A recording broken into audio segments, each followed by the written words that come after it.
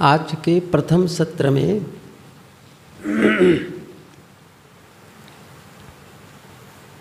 चर्चा करते हुए एक बात मैंने कही थी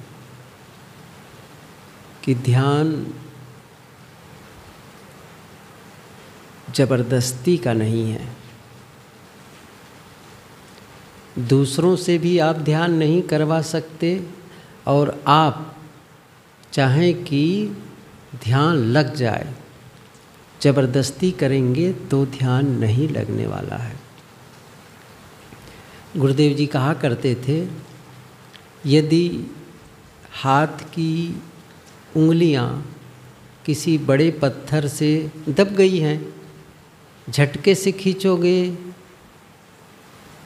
उंगली खराब हो सकती है। आहिस्ते से निकालना पड़ता है। हम लोगों का मन इसी प्रकार संसार में दबा हुआ है। दो उदाहरण, एक उदाहरण दिया करते थे गुरुदेव जी, बाँस बाँस के, बाँस का पेड़ देखे होंगे आप लोग।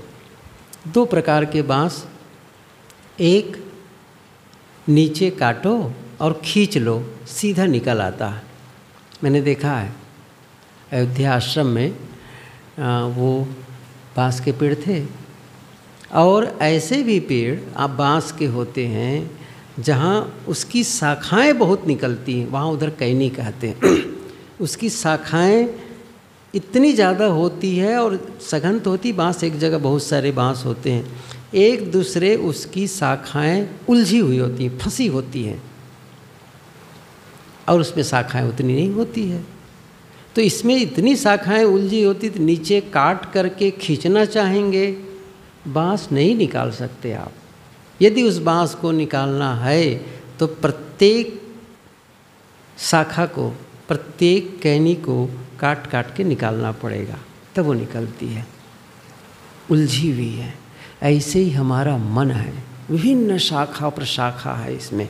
और सब ऐसे फंसी हुई है। सब। लोगों से, घटनाओं से, वस्तुओं से बहुत पुराना पुराना उलझन है। एक एक को काटो। धीरे से निकलती है। हड़बड़ाने से नहीं होगा। शत्रु विशाल देव ने कहा है, अमित काल से मैं बंधा, हट कीन्हे नहीं छूट। अमित काल से मिति अमित। तिथि नहीं है जिसकी, कोई तिथि नहीं मतलब सदा से। मैं बंधा, लेकिन हट कीन्हे नहीं छूट। हट करके आप उससे छुटकारा नहीं पा सकते। सिस्टम से छुटकारा पाएँगे। अर्थात, जीवन को इस ढंग से निर्मित करें कि आपके जीवन में ध्यान का जन्म हो जाए। ध्यान प्रकट हो जाए। मैंने एक पुस्तक पढ़ी है, तब होता है ध्यान का जन्म। तब होता है ध्यान का जन्म। अब प्रश्न है, कब होता है? उसी का सारा उत्तर है वो। मतलब ये सब करेंगे तो ध्यान का जन्म हो जाएगा। ध्यान कहीं अलग नहीं है कि आप ले आए खींच के। या कोई आपको ध्यान करा दे, यह भी संभव नहीं है। उपाय बता सकता है, विधि बता सकता है, करना आपको है। हो सकता है जो विधि बता रहे हो, वो आपके लिए कारगर न हो। कोई बात नहीं, आप अपने ढंग से करें। लक्ष्य क्या है? मन का अमन होना। ध्यानम निर्विषयम मन। मन का निर्विषय होना, विषय कहते हैं पदार्थ को। जब आप बैठें और मन में किसी पदार्थ की याद ना आए। व्यक्ति का शरीर भी तो पदार्थ ही है। विषय विषय पदार्थ किसी भी प्रकार से। आप किसी को याद कर रहे हैं तो क्या याद करेंगे? या तो दिख, दिखाई देता है दृश्य या शब्द। यही सब तो होता है। या स्वाद लिए हैं, वो, ये क्या है? ख्याल किए, किसका ख्याल किए? अमुक जगह गया था, बहुत स्वादिष्ट मिठाई बनी थी। स्वादिष्ट स्वाद। वो क्या है? वो पदार्थ ही है, जिससे आप ले रहे हैं। शब्द किसी ने प्रशंसा की थी, किसी ने अपमान किया था, वो सुनाई दे रहा है। यहाँ बैठे हैं, लेकिन उसकी याद कर रहे हैं। क्या कहते हैं? ध्यानम निर्विषयम मना। मन का निर्विषय हो जाना, विषय से परे ये सब विषय हैं, शब्द, स्पर्श, रूप, रस, गंध, सब विषय हैं। इन पाँचों विषयों से जब आप परे हो गए, तब सदगुरु श्री निर्मल साहब जी ने कहा है कि स्वरूप से बाद सारा विषय जान, पाँचों विषय पंच तत्वों से निर्माण, स्वरूप के बाद सारा विषय जान। एक है स्व जिस पर मैंने कल चर्चा की थी विस्तार से, स्व और पर। एक तो आप हैं जो जानने वाला है और दूसरा है जिसे आप जानते हैं और वो सरल भाषा में जड़ और चेतन, जीव और जड़। तो एक दृश्य जो दिखाई दे रहा है तो दृश्य का मतलब केवल आँख नहीं, स्वाद, शब्द, स्पर्श, ये तो ये जो विषय हैं, ये याद में न रहें। निर्विषयम मन मन का निर्विषय हो जाना। तो ये ध्यान की पूर्णता है। तो ये अचानक तो होना नहीं है कि आप बैठे और मन से कहो, ध्यानस्थ हो जाओ, शांत हो जाओ, मत याद करो। नहीं होता है भाई ऐसे। ऐसा होता तो सभी कर लेते। तो क्या करना पड़ेगा? कब होगा ध्यान का जन्म? मतलब मैंने कहा ना, ध्यान का जन्म होता है, प्रकट होता है। आपका जीवन ऐसा बने, आपकी जीवन शैली ऐसी हो, जिसमें ध्यान प्रकट हो जाए। तो वो तो उसके बारे में हम बाद में चर्चा करेंगे, जो व्यवहार काल की जीवन शैली वो तो हम बाद में चर्चा करेंगे कि जब आप ध्यान साधना में न हो, तब कैसी जीवन शैली होनी चाहिए? लेकिन जब आप साधना काल में हो, एक है व्यवहार काल, दूसरा है साधना काल।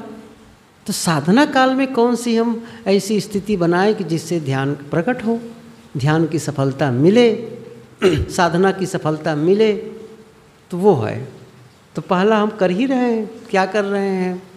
यहाँ आते हैं। समूह में बैठते हैं। मैंने कहा, सीधे बैठो और आँखें बंद करो, लेकिन शरीर ढीला हो, तनावपूर्ण ना हो। पहले कहा श्वास को देखो श्वास लंबी गहरी सांस लो। ये सब बातें, ये क्या है? बाह्य भूमिका। बाहर से आपने इस प्रकार भूमिका निर्मित की। फिर श्वास को देखो सब बाह्य भूमिका है। इसको करते करते आपको आंतरिक भूमिका, क्योंकि ये तो हम बाहर से कर रहे हैं, सुन करके कर रहे हैं। लेकिन आपको अंदर क्या करना है, ये भी जान लें। जिसे कहते हैं आंतरिक, ये बाह्य भूमिका, एक आंतरिक भूमिका। अंतश में क्या होना चाहिए, ये जरा ध्यान दो।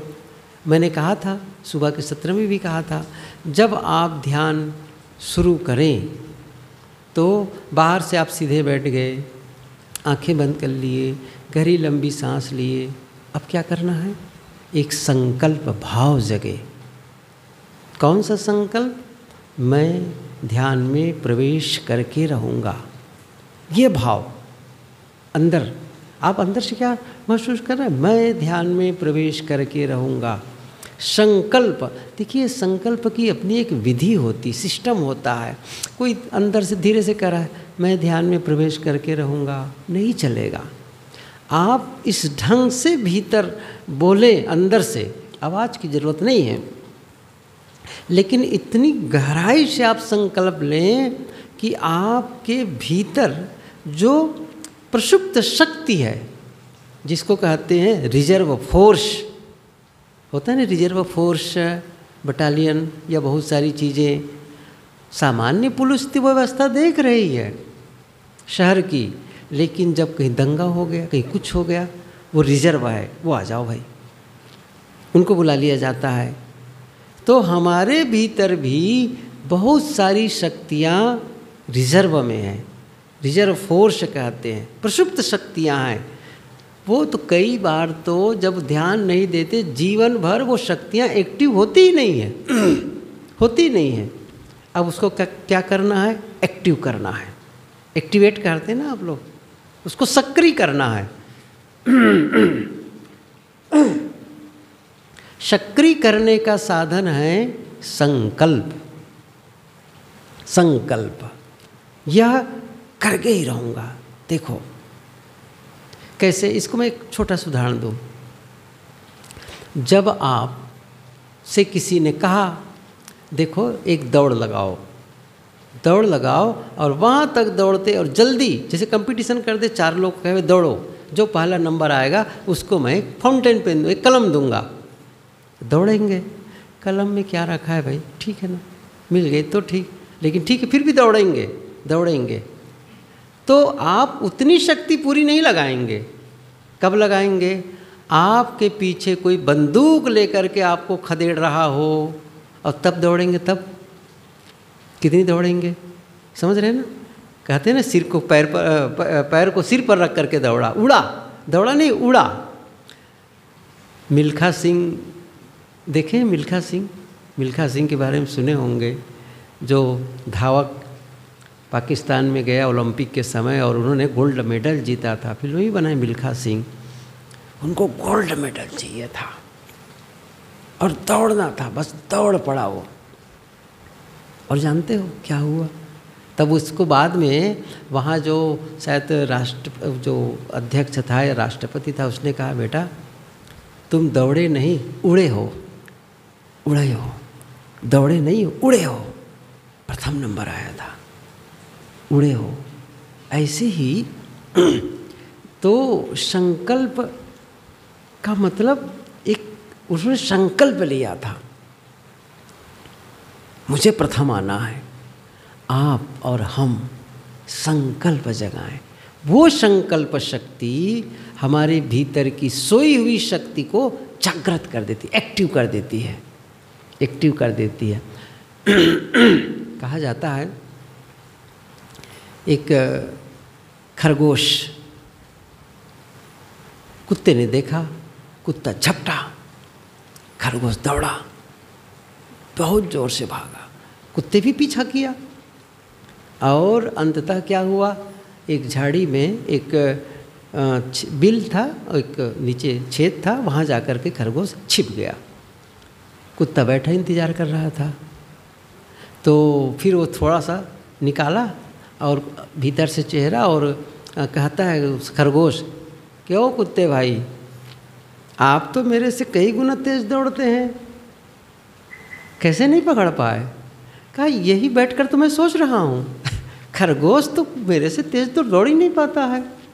लेकिन मैं तेज दौड़ने वाला, कैसे खरगोश को नहीं पकड़ पाया? यही सोच रहा हूँ।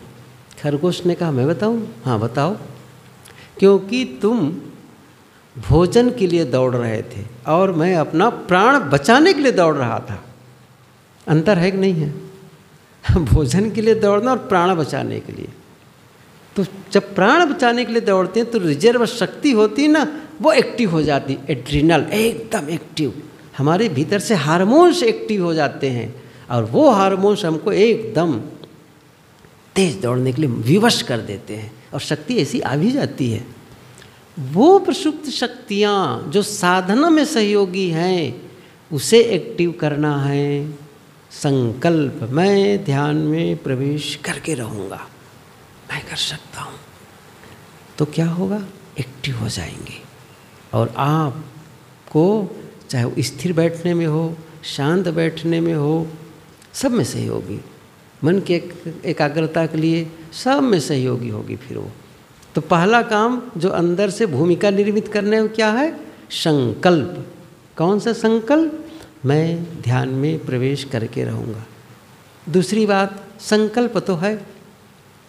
लेकिन एक दूसरी चीज़ क्या हो रही है? विश्वास नहीं है अपने में। बात तो सही है। अच्छी बातें कह रहे हैं। ध्यान में ध्यान करना भी चाहिए। ध्यान में पहुँचना भी चाहिए। अनुभव भी होना चाहिए। लेकिन मैं नहीं कर पाऊँगा। क्या हो रहा है? अविश्वास। खुद पर अविश्वास। बस यही है नुकसान करने वाला। आप जब खुद पर विश्वास नहीं, जैसे आपने कहा, मैं नहीं कर सकता, आप नहीं कर पाएँगे। हेनरी फोर्ड ने कहा है, यदि आप कहते हैं कि मैं यह कर सकता हूँ, या आप यह कहते हैं कि मैं नहीं कर सकता, दोनों में सही आप। दोनों में सही है। यदि आप कहते मैं कर सकता हूँ तो कर ही लोगे। फिर कहते नहीं कर सकते सचमुच नहीं कर पाओगे, क्योंकि आपको नहीं विश्वास है, अपने ऊपर तो कैसे कर पाओगे? आत्मविश्वास है। जैसे एक पहाड़ी है, और पहाड़ी को देखकर मैं क्या कहता हूँ? उस पहाड़ी की चोटी पर मैं नहीं चढ़ सकता। बस, नहीं चढ़ सकता। तो नहीं चढ़ सकता। लेकिन यदि मैं कहता हूँ, उस पहाड़ी की चोटी पर मैं चढ़ सकता हूँ, मैं चढ़ सकता हूँ, जानते फिर क्या होगा? आप चलना शुरू करेंगे, फिर पूछेंगे अच्छा उस चोटी पर जाने का रास्ता कौन है? कौन सा है? रास्ते बताने वाले मिल भी जाएँगे। और ये भी हो सकता है, उस चोटी पर जाने वाले अन्य साथी भी होंगे, वो आपके हमराही भी हो सकते हैं। चलो, लेकिन पहले ही मान लिए कि मैं नहीं चढ़ सकता तो उस रास्ते को भी नहीं पूछेंगे, क्योंकि मैं तो नहीं चढ़ सकता, ना काहे को पूछूँगा? इतना अंतर होता है। इसलिए आत्मविश्वास, क्या मैं कर सकता हूँ? क्योंकि इस दुनिया में किसी ने ये काम किया है, कभी भी तो मैं भी कर सकता हूँ। तथागत बुद्ध कहते थे कि सभी मनुष्य निर्वाण प्राप्त कर सकते हैं। सब सभी निर्वाण प्राप्त कर सकते हैं। तो एक ने कहा आप भगवान आप कहते हैं कि सभी निर्वाण प्राप्त कर सकते हैं तो सब निर्वाण क्यों नहीं हो जाते निर, निर्वाण क्यों नहीं प्राप्त कर लेते हैं? सबका निर्वाण क्यों नहीं हो जाता है? उसने कहा कि मैं अभी भी कह रहा हूँ सबका निर्वाण हो सकता है सभी निर्वाण प्राप्त कर सकते हैं। लेकिन लोग चाहेंगे तब तो। अच्छा एक काम करो तुम एक कागज़ और कलम ले लो, एक फहरिस्त तैयार करना, सूची, लिस्ट बनाना, गाँव में चले जाओ और पूछना, क्या चाहते हो? तो जाता था, घर का दरवाज़ा खटखटाता था, पूछता था, आपको क्या चाहिए? समझ रहे ना? क्या बताएगा वो? ये चाहिए, वो चाहिए, यही तो दुनिया की चीज़ें बताता है। पूरा गाँव घूम करके आ गया, बुद्ध से, बुद्ध ने कहा, बना लिए? हाँ बना लिया। अच्छा बताओ, कितने लोग निर्वाण चाहते हैं? कि भगवान कोई नहीं चाहता। कोई नहीं चाहता। कहा, मैंने कहा ना, अभी भी कह रहा हूँ, सबका हो सकता लेकिन लोग चाहेंगे तब तो। चाहते ही नहीं है निर्वाण। उनको तो दुनिया चाहिए, दुनिया का धन संपत्ति चाहिए, प्रतिष्ठा चाहिए, सम्मान चाहिए, ऐशो आराम चाहिए, निर्वाण किसको चाहिए? यदि निर्वाण चाहिए तो आप रास्ता पूछेंगे, ढूंढेंगे। कहने का मतलब है उसने आ, हम चाह हम कहते कि मैं विश्वास जगे कि मैं चाहता भी हूँ और मैं कर सकता हूँ। बस यदि किसी ने किया है तो मैं भी कर सकता हूँ और मैं करके ही रहूँगा। ये भाव जगे। तब को थोड़ा सी गति होगी तब थोड़ा सा आप अप होना शुरू करेंगे। तो पहली बात आंतरिक भूमिका के लिए संकल्प भाव। दूसरी बात, ये विश्वास कि मैं कर सकता हूँ। एक तीसरी बात। तीसरा क्या है? जब आप कहीं साधना में बैठेंगे, चाहे, अब देखिए, हर समय तो आप इस प्रकार के समूह में तो आ नहीं सकते, या हर समय आप किसी पहाड़ी और जंगल पर तो जा नहीं सकते कि नदी किनारे चले जाएँ। कहाँ बैठना होगा? घर में ही। घर के किसी कमरा में आपके ही कमरा हो, आप बैठेंगे। फिर क्या होता है? जनरली जब साधना में बैठते हैं तब एक बच्चा रोने लग गया, या पक्षी कौवा बोलने लग गया, या किसी ने मोटरसाइकिल स्टार्ट कर दी, कुत्ता ही भूख रहा है। अब आपने क्या कहा? अब देखो ना, इतनी आवाज़ हो गई, मेरे ध्यान को इसने भंग कर दिया। सब बेकार, ये सब बाधा हैं या घर में कोई बर्तन की आवाज़ आ गई आपने कहा, सोचा, बाधा बाधा। किसी घटना को, किसी आवाज़ को बाधा मानेंगे तो वो बाधा बन जाएगी। लेकिन आपने क्या किया? स्वीकार भाव एक्सेप्टेंस स्वीकार। जैसे स्वीकार जब जब आप उसे, उस घटना को अस्वीकार क्या कह रहे हैं? आप अकेले ध्यान में बैठे, आवाज़ आ रही है। क्या करें? ये क्यों बोल रहा है? ये क्यों आवाज़ कर रहे हैं? ये ना करे ना करे।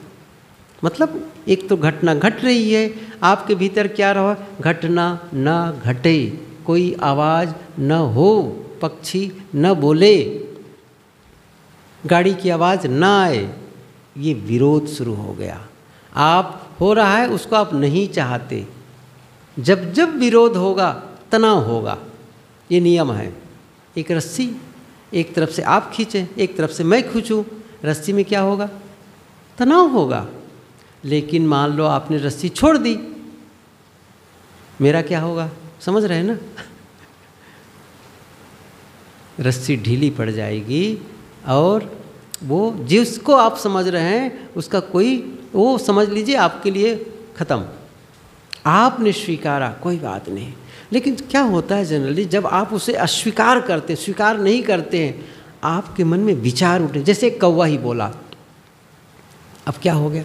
ये क्यों बोल रहा है यहाँ बैठ करके? यही बोलना चाहिए था, अभी बोलना चाहिए था। विचार, आपने स्वीकार किया, आवाज़ आई और गई, बस। जैसे आप उसको गुजर जाने दिए, विरोध नहीं किए। और ध्यान क्या है? नॉन रेजिस्टेंस माइंड अप्रतिरोध मन। ध्यान की सफलता है, आप अविरोधी बन जाए। अप्रतिरोध, नहीं सब स्वीकार। प्रतिरोध करो ही मत। क्यों प्रतिक्रिया में उलझ रहे हैं? क्यों विरोध कर रहे हैं? दुनिया अपने ढंग से चलेगी, घटनाएँ घटेंगी। मुझे उससे कोई लेना देना नहीं है। मेरे लिए कोई बाधा नहीं है। स्वीकार भाव, स्वीकार एक्सेप्टेंस जैसे उसको स्वीकार किए, वो बाधा नहीं रहेगी। तो ये तीसरी बात, चौथी बात क्या है? अचाह पद अचाह का मतलब ये हुआ, आप साधना में बैठे, ध्यान में, और किसी ने कह दिया, वहाँ परमात्मा के दर्शन होंगे। अच्छा परमात्मा न भी मानो, आत्मा दिखाई देगा। या फिर किसी ने कहा, ज्योति, बिंदु, नाद, या वहाँ पर ढोल मृदंग की आवाज़ आती है, शब्द मटक गए। सच क्या है? कुछ नहीं। कुछ नहीं। मैंने कहा था ना कल, कुछ नहीं चाहिए, जिनको कछु न चाहिए, सोई सहनसा अचाह पद। क्यों? क्यों अचाह की ज़रूरत है? चाहनाओं से हम बंधते हैं। सदगुरु खफी ने बात कही है, इच्छा करी भव सागर। ये पंक्ति है उनकी, इच्छा करी भव सागर, जामे वोहित राम आधार। कहें कबीर हरि शरण कहो गौ खुर बच्च विस्तार। इच्छा करी भव, इच्छा ही भव सागर है। जहाँ इच्छा हुई, आप भवसागर में चले गए। इच्छा छोड़ दो। सदगुरु विशालदेव की पंक्ति बहुत महत्वपूर्ण है। जो इच्छा छोड़े, फिरे तही को गहिलीन। वो देहाती ढंग से थोड़ा सा उनकी शब्दावलियाँ हैं, लेकिन बड़े मार्के की है। जो इच्छा छोड़े, फिरे तही को को गहिलीन। जो इच्छा को छोड़ता जाए छोड़ता जाए। कौन ग्रहण कर लेगा? ये चाह पद में कह कैसे ना, चाह में ही दर्द है, दाह है, इसलिए अचाह पद अचाह पद।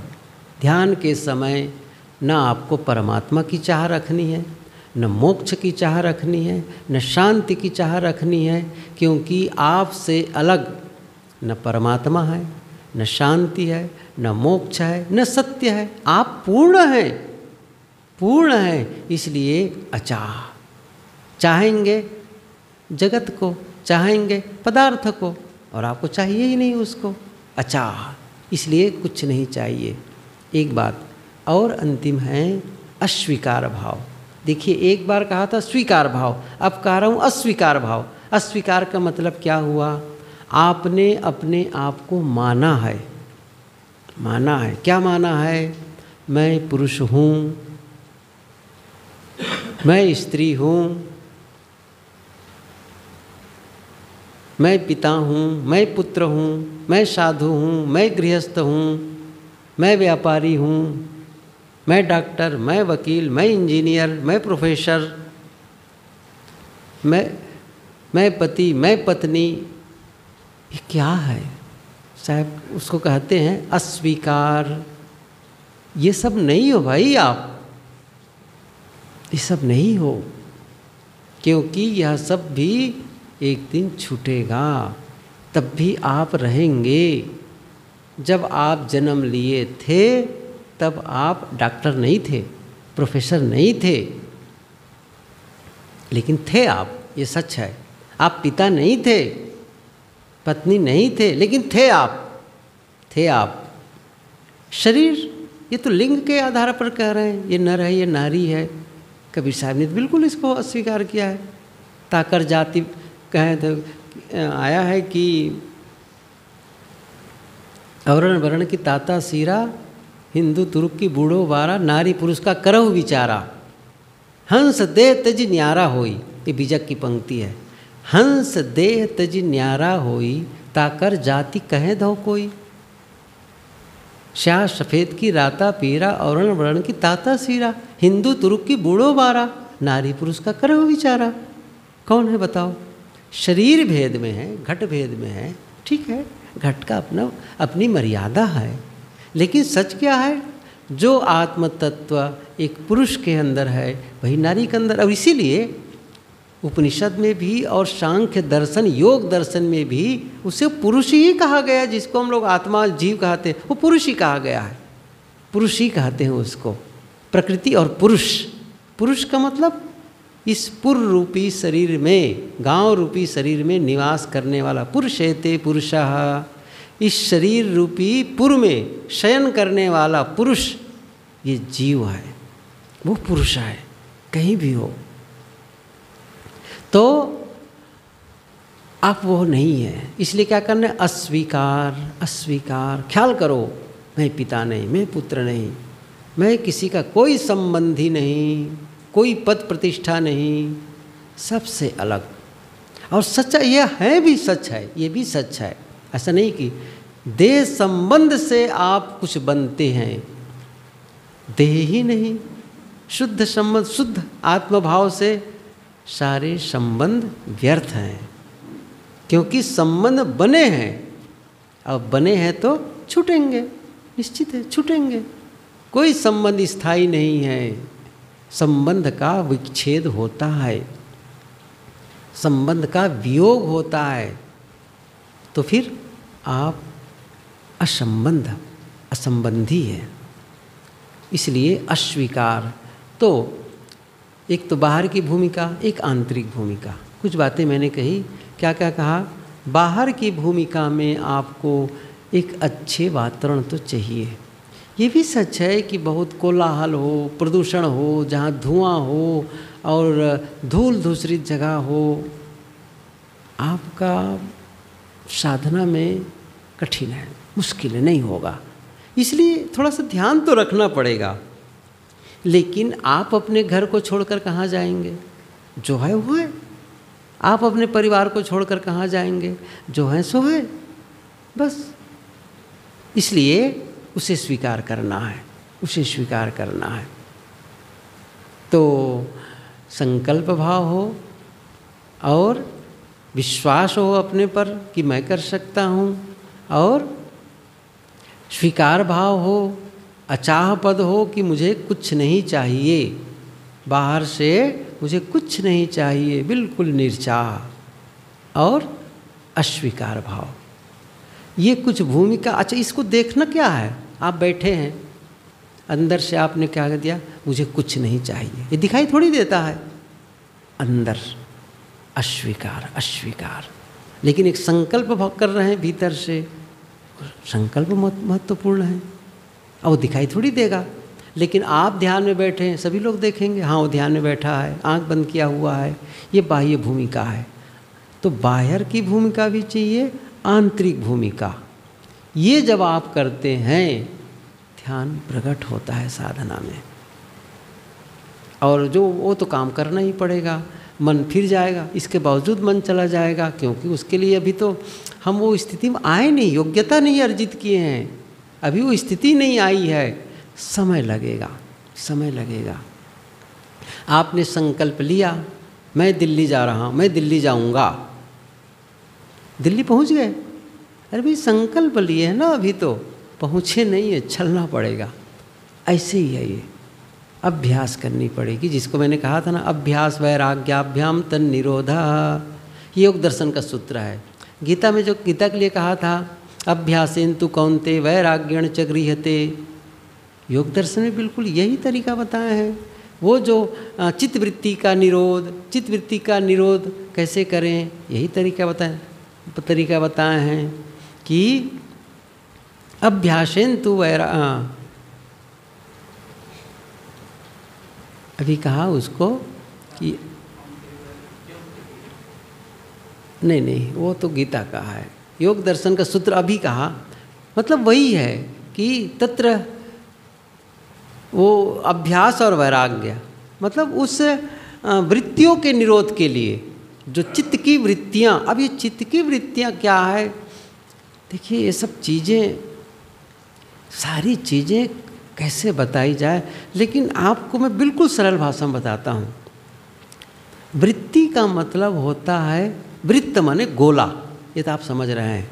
वृत्त माने गोला। और चित्त की वृत्तियाँ वृत्तियाँ मतलब तरंगे, जैसे समझे एक आपने पानी है और पानी में एक पत्थर फेंक दिया तालाब में। तो एक गोला बन गया वेप तरंग, और वो फैल रही है, ऐसे। तट पे जाकर के रुकती हैं। इसी प्रकार से कोई एक विचार आया। अब उस विचार के साथ में और और विचार आने लगते हैं। ये तरंगे चलती है। ये तरंगे। और वो तरंगे, वो उस पर तमाम बातें ऐसी विचार आ रही हैं। क्या कहते हैं? ये न हो। योगश्चित वृत्ति निरोधा। योग दर्शन में यही सूत्र है। शेख दूसरे नंबर का सूत्र ये और यही समझिए योग दर्शन की परिभाषा, योग की परिभाषा भी है। योग क्या है? योगश्चित्त वृत्ति निरोधा। चित्त की वृत्तियों का निरोध योग है। तब क्या होता है? तदा दृष्टु स्वरूपे अवस्थानम। तब दृष्टा की अपने रूप में स्थिति होती है। दृष्टा आत्मा जो पुरुष है, अपने आप में शान बस, ये स्थिति है। अब इतने से काम नहीं चलेगा। तब कहते हैं, ये वृत्ति क्या है? कितने प्रकार की वृत्ति होती है? तब बताएँ, कृष्ट, अक्लिष्ट, फिर पाँच प्रकार की होती हैं ये। फिर वो क्या है? राग, द्वेष, अभिनिवेश। ये बहुत सारी विद्या, अस्मिता, राग, द्वेष, अभिनिवेश, पंचतया, ये पाँच प्रकार की होती हैं। वो क्लिष्ट होती हैं, अक्लिष्ट होती हैं। जाओ, पढ़ो योग दर्शन। अब एक ही चीज़ की व्याख्या करूँ, उसमें समझ जाएगा। लेकिन इतना आप समझें, आपके विचार आए और वो जो तरंगे चलती, विचारों की वृत्तियाँ चलती हैं, वो न रह जाए, जिसको मैंने पहले भी कहा था। तो वो जब शांत, जैसे पानी हो, जल हो, तरंग न हो, तरंग न हो, तरंग रहित मन, तरंग रहित। और ये भी सच है, मन या तो होता है या तो नहीं होता है। दो ही बातें, या तो मन होता है या तो मन नहीं होता है। शांत मन जैसा कुछ होता ही नहीं है। क्या कहा? ये बात समझ में आ रही है? मैं क्या कह रहा हूँ? शांत मन होता ही नहीं है। और मैं क्या कहा, क्या कहता हूँ बीच बीच में? मन शांत, मेरा मन शांत। सच क्या है? शांत मन जैसा कुछ होता ही नहीं है। या तो मन होता है, या तो मन नहीं होता है। मन का अर्थ ये चंचल। चंचलता ही लक्षण है उसका। कबीर साहब जी ने कहा, ई मन चंचल, ई मन चोर। ई मन शुद्ध ठगहार मन मन करते सुर नर मुनि चढ़े मन के लक्ष्य द्वार ई मन चंचल, ये मन चंचल ही है। यही इसका प्रमाण है। मन शांत क्या होगा? मन चंचल ही रहेगा। इसलिए या तो मन होगा, या तो मन नहीं होगा। इस पर बात करूँगा। ये क्या है जो मैं कह रहा हूँ? या तो मन है, या तो नहीं है। अभी तो बैठे साधना में। कुछ तो बातें समझ में आ रही है। भूमिका निर्मित करो भीतर से, बाहर से भी। तो थोड़ी देर साधना में बैठें, फिर छुट्टी करेंगे। करें।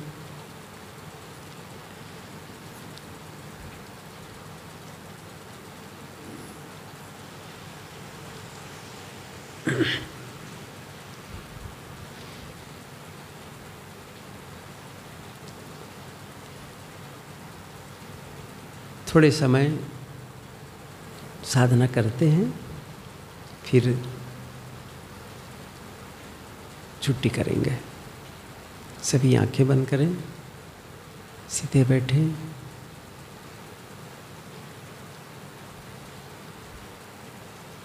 शरीर शांत और ढीला है, रिलैक्स और शिथिल प्रत्येक अंग ढीला है, शिथिल है। तनाव रहित सांस बहुत मंथर गति से धीरे धीरे धीरे धीरे। मन भी शांत, अमन, मौन, अंदर सन्नाटा हो, पूर्ण सन्नाटा, अकेलापन, मैं अकेला हूँ। कोई नहीं मेरे पास। न व्यक्ति न वस्तु।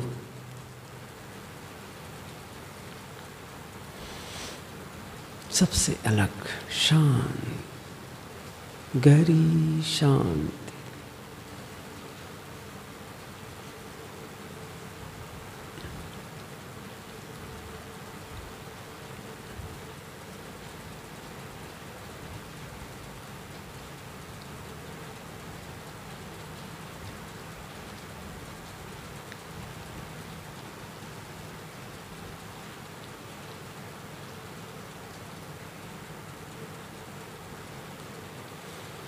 पूरा संकल्प भाव मैं ध्यान में प्रवेश करके रहूँगा।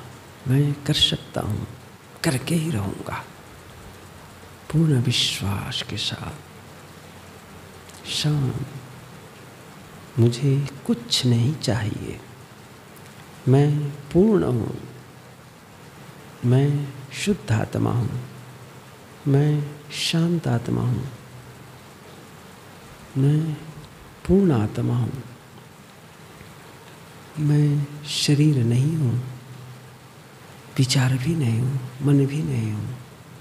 मैं अकेला हूँ, मैं अकेला हूँ। एकदम शांत।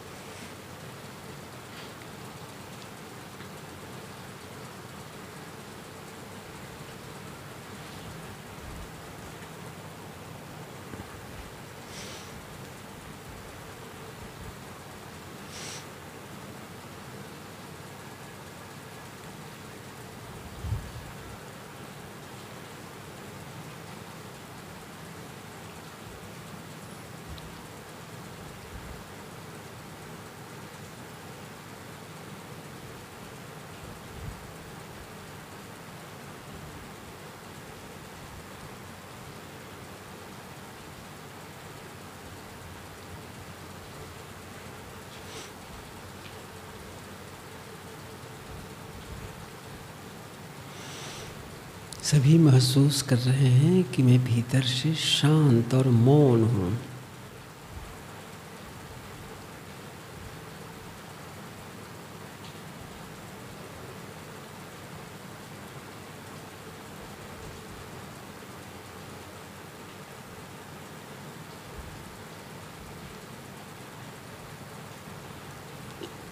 निस्तब्ध मन, अकंप मन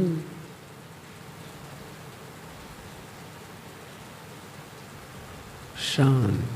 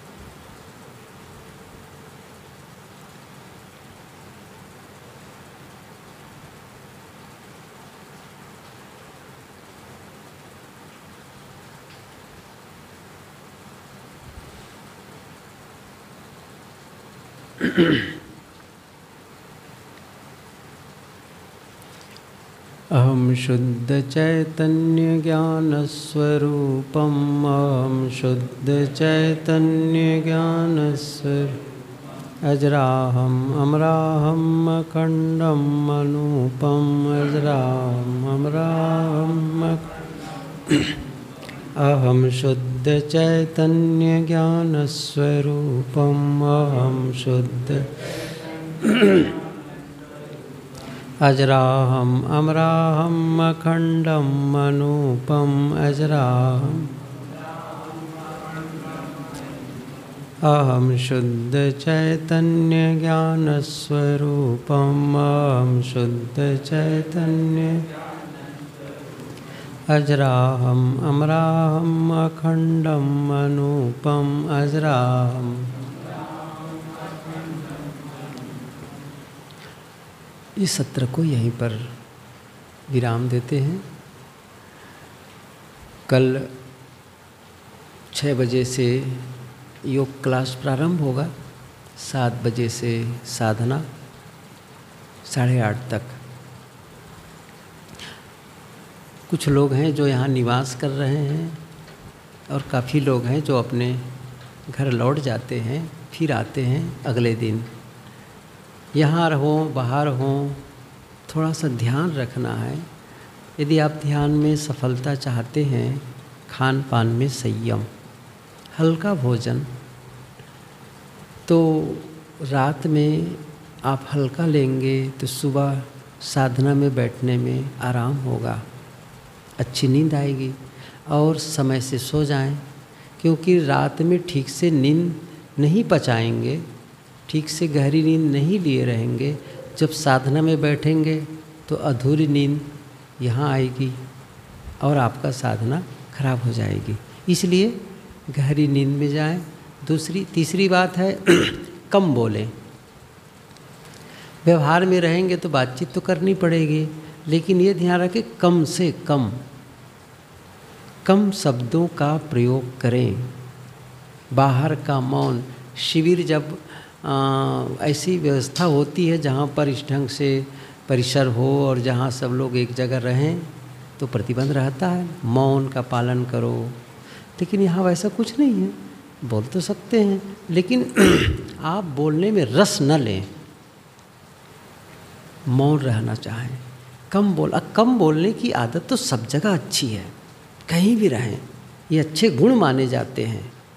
कम बोलने की आदत है, धीरे बोलने की आदत है, मीठा बोलने की आदत है।